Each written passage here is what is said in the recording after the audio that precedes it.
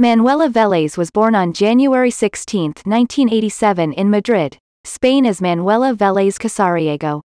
She is an actress, known for Kidnapped, 2010, Chaotic Anna, 2007, and Camino, 2008.